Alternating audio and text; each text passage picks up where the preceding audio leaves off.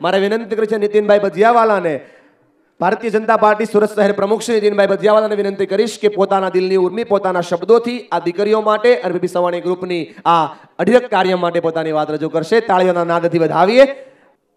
આજના કાર્યક્રમમાં ઉપસ્થિત સૌ ડાયસ પર બિરાજમાન, મહાનુભાવો, ઉપસ્થિત ભાઈઓ બહેનો. દુનિયામાં સંપત્તિ હોવી એ બહુ મોટી વાત નથી.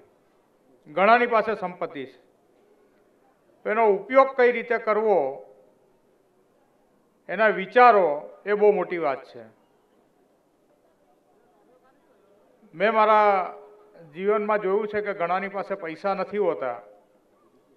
પરંતુ લોકોની સેવા કઈ રીતે કરવી? એ એમના વિચારો બહુ મોટા હોય છે. હમણાં જ થોડા સમય પહેલાં ભાવનગરમાં પણ આવા સમૂહ લગ્ન હતા. મહેશભાઈ પણ ત્યાં હાજર હતા ને હું પણ હતો. ત્યાં એક મારા ઓળખીતાની વાત નીકળી.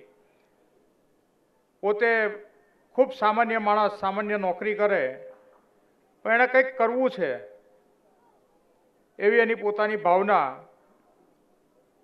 એટલે રોજ સવારે ઘરેથી નીકળવાનું, સિવિલ હોસ્પિટલ જવાનું, દરેક દર્દીની ખબર પૂછવાની. કોઈક દર્દી એવું કહે કે મારે આ દવાની જરૂરિયાત છે, પણ પૈસા નથી. એટલે પોતે એની પાસે એનું દવાનું નામ લઈ લેવું. અને ગામના કોઈ શ્રેષ્ઠી હોય, એની પાસે જઈને વાત કરે કે ભાઈ આ રીતે આ સિવિલ હોસ્પિટલમાં આ દર્દીને આ દવાની જરૂર છે. પેલા શ્રેષ્ઠી પણ એને પૈસા આપી દે, એટલે દવા લઈ લેવાની, સાંજે દર્દીને પહોંચાડી દેવાની.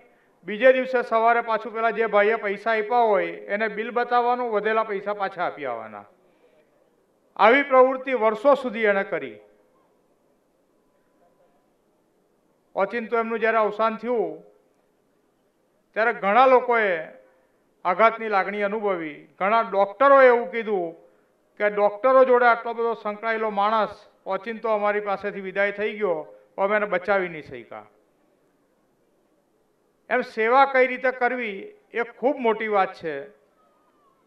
સંપત્તિ તો કુદરત ખૂબ આપે છે ને આવી સેવાકીય પ્રવૃત્તિને લીધે એ સંપત્તિમાં ઉત્તરોત્તર વધારો થતો રહે છે. તો મહેશભાઈના આ જે કોઈ વિચાર કે જેને કારણે વિદેશમાંથી પણ લોકો પ્રેરણા લઈને જ્યારે અહીંયા ડોનેશન આપતા હોય, તો આ વિચારને હું ખૂબ વધાવું છું. અને આમ તો પહેલી વાત એ કે દુનિયામાં આવી કોઈ લાચાર દીકરીઓ નહીં થાય. પરંતુ જેની પર પણ આવી કુદરતી આફત છે, એને માટે મહેશભાઈ એક આશીર્વાદ સમાન છે. મહેશભાઈને ફરી વખત હું ખૂબ શુભકામના પાઠવું છું કે આ રીતના જ પ્રવૃત્તિમાં આના સિવાયની પણ બીજી કોઈ સેવાકીય પ્રવૃત્તિ હોય, એમાં પાપ આગળ વધો, એવી શુભકામના ભારત માતા કી જય, વંદે માતરમ. ખૂબ ખૂબ આભાર, આદરણીય નીતિનભાઈ.